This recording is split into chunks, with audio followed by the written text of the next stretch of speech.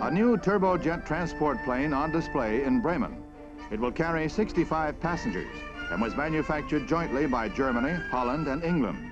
Special features include fan brake flaps and low-pressure tires for short takeoffs and landings.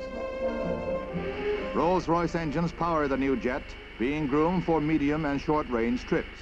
Latest addition to continental air travel.